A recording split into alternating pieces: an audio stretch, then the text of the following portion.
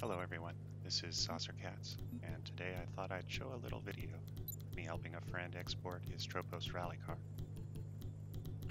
Several other cars are being exported at the same time, so it's going to be a bit of an impromptu race.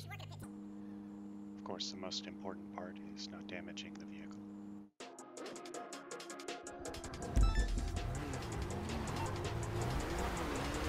We doing this?